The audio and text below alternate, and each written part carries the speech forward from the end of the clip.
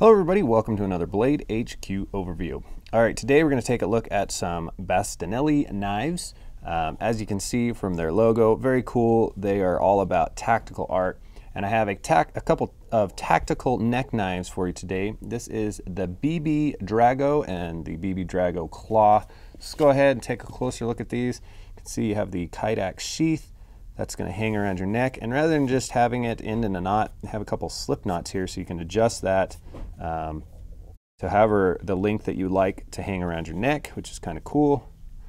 Pull that out. and then this is what you're looking at. You can see the claws with the Bastinelli logo. Very nice. On the tang here, they've actually rounded it all the way, uh, which is a really nice touch. Actually gives a little bit better grip, I feel like, or a little bit more of a comfort grip, grip rather than just being flat through there.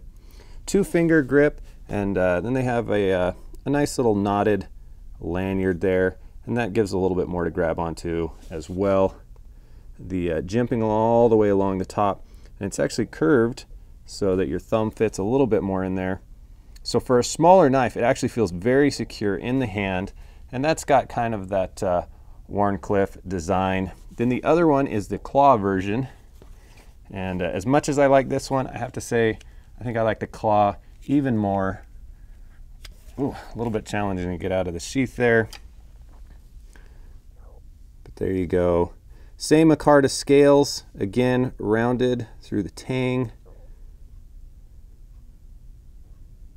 But uh, more of a, that hawkbill style. Again, very, very secure feeling, very comfortable in the hand uh, if you were able to deploy that in any kind of tactical fashion. So uh, very light knives, 1.4 ounces. As far as the overall length on these go, mm, about four and a quarter, just a little over four inches. And uh, that one looks like it's right on four inches.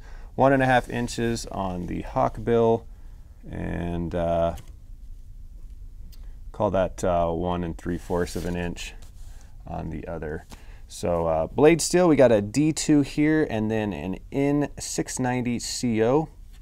Uh, again, these are some really cool kind of, uh, maybe more of a premium neck knife. If you haven't checked out uh, Bastinelli knives, go ahead, click that buy now button. You can look at these as well as others right now at Blade HQ. Thanks for watching, everybody. Have a good one.